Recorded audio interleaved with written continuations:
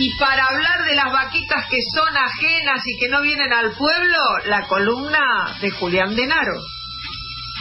Bueno, el arriero va, temazo, temazo de Atahualpa Yupanqui, que tiene una versión rockera que amo, que mostró además la hace con toda, toda, toda la potencia, con sus, con sus manos, con su voz y con sus dientes, ¿no? Porque quienes hemos visto a Moyo en vivo, sabemos que toca la guitarra también con los dientes.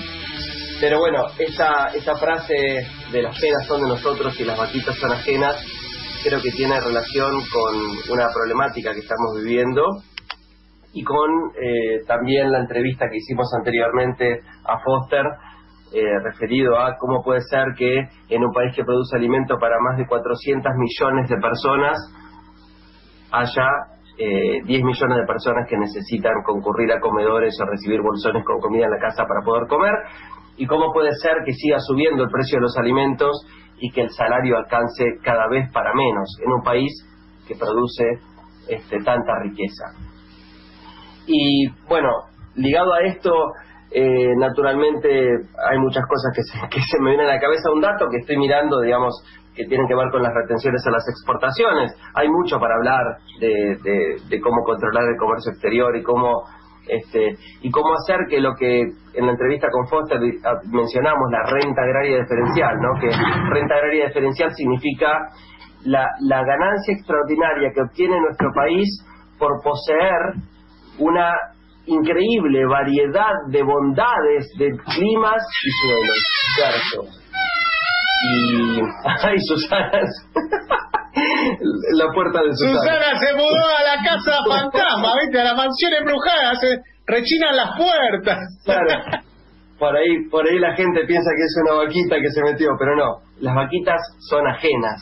Eh, y bueno, uno de, los, uno de los mecanismos para, para que el, pueblo argentino, la sociedad argentina pueda disponer de esta eh, renta agraria y diferencial, de esta riqueza extraordinaria que producen nuestras exportaciones de productos primarios y de alimentos, en esta, en esta este, eh, moderna economía, digamos, porque anteriormente hubo otros mecanismos, de los cuales vamos a referirnos, si no es hoy, en otros programas más adelante, son las retenciones a las exportaciones, ¿no? Y las retenciones a, la a, las exportaciones sirven para separar los precios internacionales de los precios internos y como hemos venido hablando en, en, en semanas anteriores y hoy también lo, lo, conversamos con Foster, que el, el aumento de los precios internacionales de los alimentos en realidad son, eh, son buenos para el país porque traen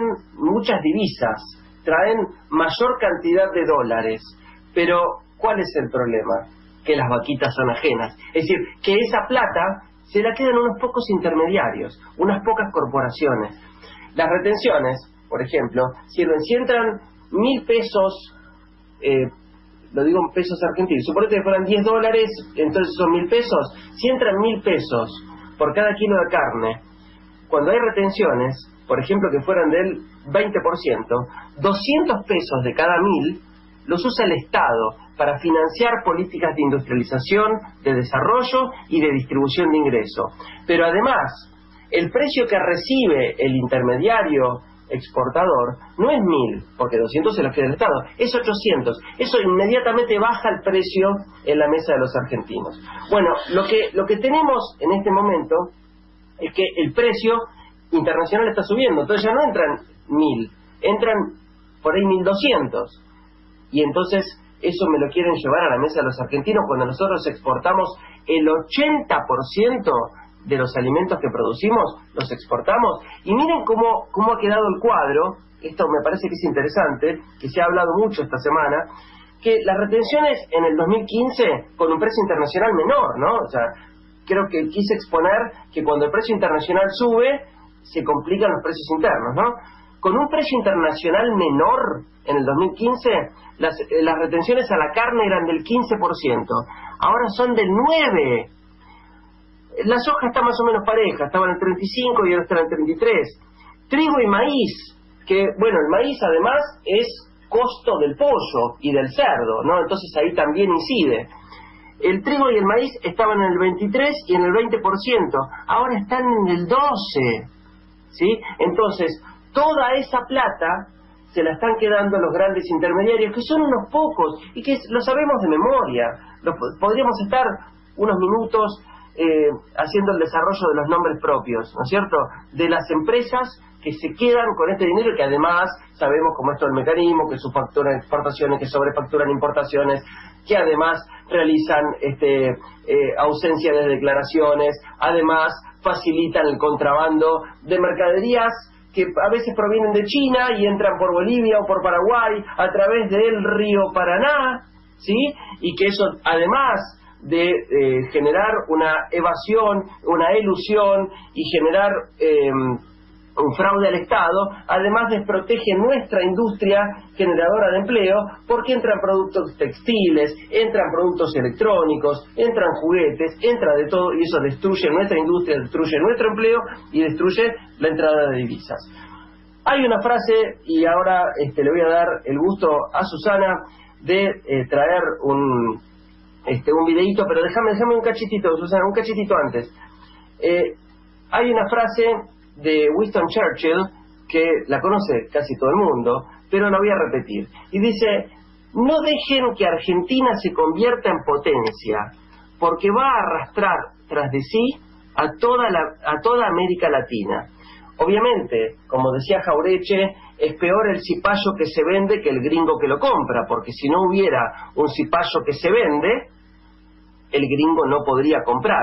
Ahora, eso que se generó eh, de manera muy pesada en tres oportunidades de la historia fundamentalmente. Hubo otros momentos de endeudamiento, pero los tres momentos más pesados de nuestra historia fueron la dictadura eh, del 76 al 83, el, el periodo de Menem y de la Rúa y el gobierno de Macri. El, lo que nos había dejado el, el gobierno de Macri sería pagar eh, en lo que resta del 2021 3.500 millones de dólares. 2022 pagar 18 mil millones de dólares. 2023, pagar 19 mil millones de dólares. Aún sin pandemia, ¿alguien me puede explicar si hubiera sido viable el país de esa forma? Bueno, la respuesta es que no. Ah, y entonces ahí le doy al pie a Susana para que ponga el video, a ver.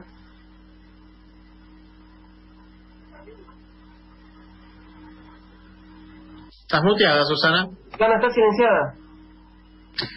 No puedo hacer todo. Me dicen que me mutee, me dicen que me desmutee. No puedo, no puedo. Eh, Ceci, ¿tenés el videito que te mandé? Dentro de todo este conjunto de de problemas que dejó la administración anterior, también nos dejó una bendición, que es que el gobierno anterior era tan estrafalario, tan poco comprensible, tan poco homologable para el resto del mundo, que nadie le prestaba plata.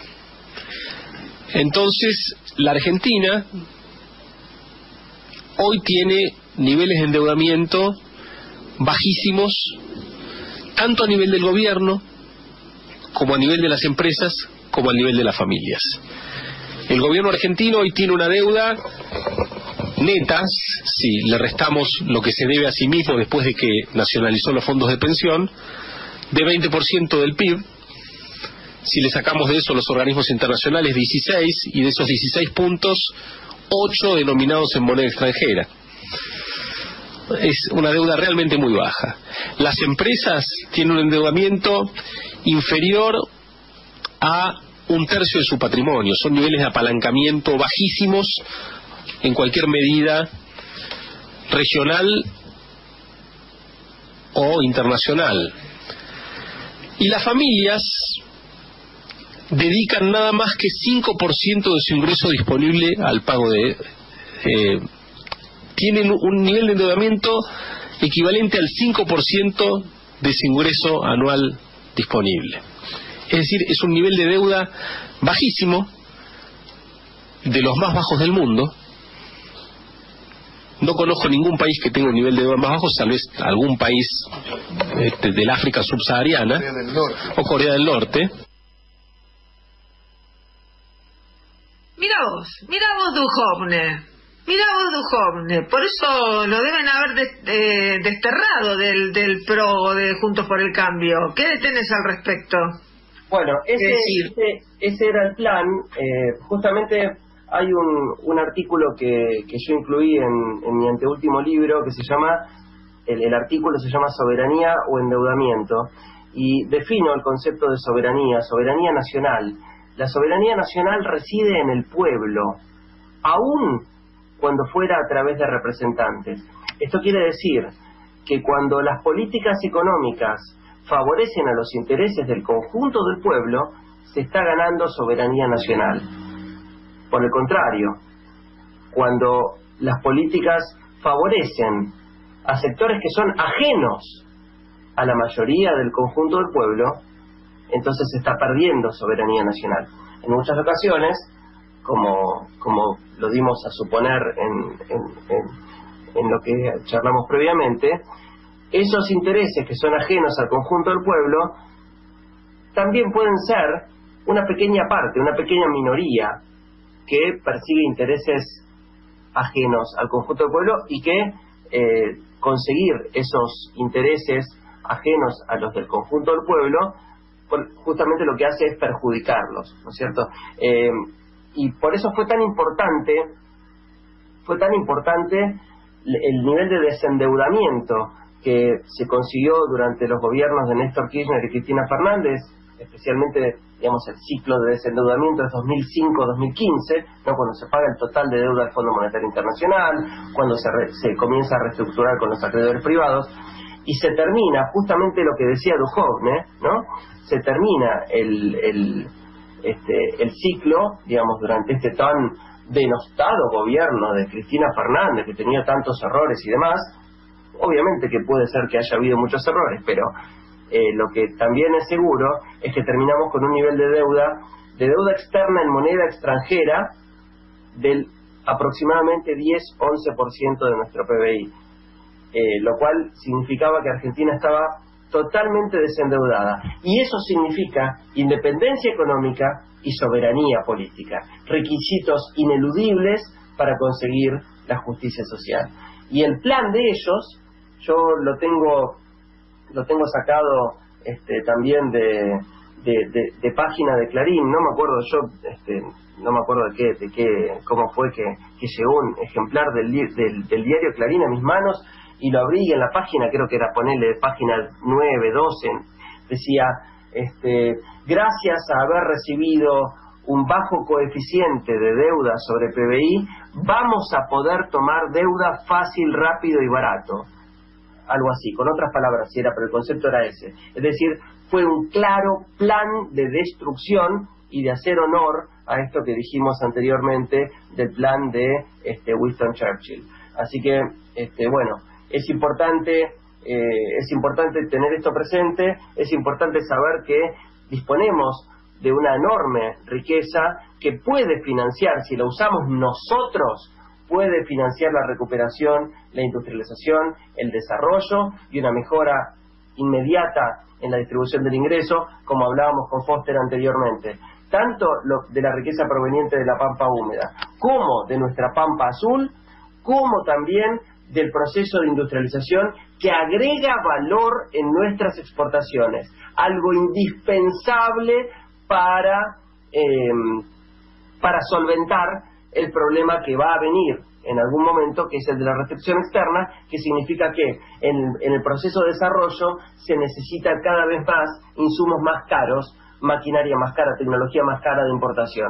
Entonces, para solventar eso hay que agregar valor en nuestras importaciones y la plata la tiene que manejar el conjunto del pueblo argentino y no 10 empresas intermediarias.